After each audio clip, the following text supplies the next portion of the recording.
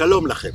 אני מבטיח לכם שאם אנחנו נחפש שם מינים של בעלי חיים באזור היבש הזה, אנחנו נמצא מינים מסוימים. ואם אנחנו נחפש מינים של בעלי חיים באזור הלח הזה, מלא צמחייה, נמצא בעלי חיים אחרים.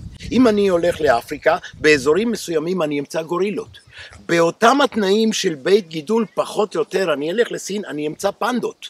ואז נשאלת השאלה, למה בסין אני לא אמצא גורילות, ולמה באפריקה אני לא אמצא פנדות? הרי אנחנו מדברים על אותם תנאי סביבתיים, נכון? על אותו משקל אנחנו יכולים ללכת לשאלה אחרת.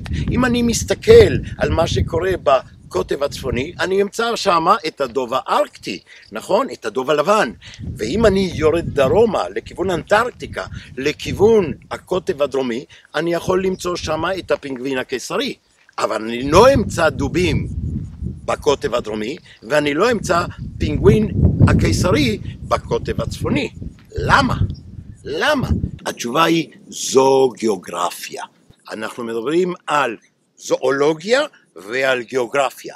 אנחנו יכולים לראות שפאונה מסוימת של בעלי חיים נמצאת באזור מסוים ופאונה אחרת באזור אחר. מה זה פאונה? זה כלל המינים שקיימים באזור מסוים או בתקופה מסוימת, ואז אנחנו יכולים לראות את התופעה הזאת של הזואוגיאוגרפיה שקשורה להיסטוריה של המין או של המשפחה או של הסדרה, בעיקר של הקבוצה, אבל היא קשורה גם לשינויים גיאולוגיים וגיאוגרפיים שהתרחשו בזמן שאותו בעל חיים התפשט. דוגמה, אם אנחנו מסתכלים על משפחת האמנוניים, בקיצור מושטים אנחנו מסתכלים ואנחנו רואים שהמרכז הזו-גיאוגרפי שלהם זה באגם מסוים במרכז אפריקה.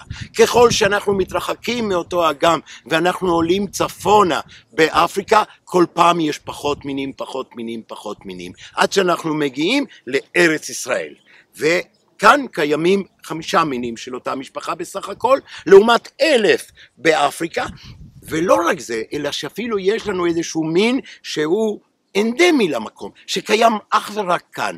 אמנונית יוסף, דג כזה קטן, שבעצם הוא אנדמי, הוא קיים אך ורק בישראל ובסוריה. ומה שאנחנו רואים שם זה תפוצה רציפה של אותה המשפחה הזאת של האמנוניים. לעומת זאת, מאוד מאוד חשוב, על מנת שאנחנו נבין, יש לנו דוגמאות של תפוצה אי רציפה, והדוגמה שלנו זה משפחת הגמלים, אחת הדוגמאות כי יש עוד, אבל גמלים, אותו הגמל שלנו, אנחנו מכירים אותו מצפון אפריקה, הגמל הדוד הבשתי מאזור אה, אסיה ואפילו בסין ובסיביר, נכון? זה הגמלים שאנחנו מכירים, אבל יש לנו גמלים גם בדרום אמריקה, באזורים של האנדים, באזורים איפה שגם התנאים שם הם קיצוניים. ויש לנו שם את הלמה, ויש לנו את הוויקוניה, ויש לנו את האלפקה, אלה חיים שם. איך זה יכול להיות שיש להם אב קדמון משותף, ויש פה תפוצה באזור מסוים, ותפוצה במקום אחר בעולם? מה קרה פה? פה התשובה היא ההיסטוריה. האב הקדמון, הגמל הראשון שאנחנו מכירים, המאובן הזה, הוא נמצא בארצות הברית. אין בארצות הברית, אין בצפון אמריקה גמלים. איך זה קרה?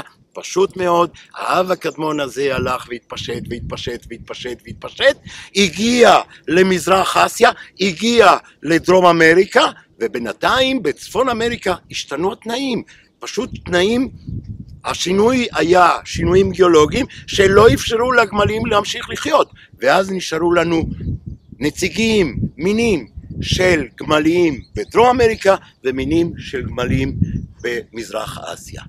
על מנת שבעל חיים יתקדם הוא צריך את התנאים הסביבתיים ושלא יהיו לו מחסומים מפני שברגע שיש מחסום הוא לא יכול לעבור כמו למשל רכס ההימאליה או האוקיינוסים הגדולים. לסיכום, כשאנחנו מסתכלים על תפוצה של איזושהי קבוצה של בעלי חיים אנחנו חייבים להסתכל על ההיסטוריה, על האבולוציה שלו וגם על השינויים הגיאולוגיים והאקלימיים שהתרחשו באותן התקופות האלה. אנחנו נחלק את העולם שלנו לאזורים גיאוגרפיים, שישה אזורים שונים שמציגים לנו פאונה שונה בסרטון הבא. תצטרפו אלינו.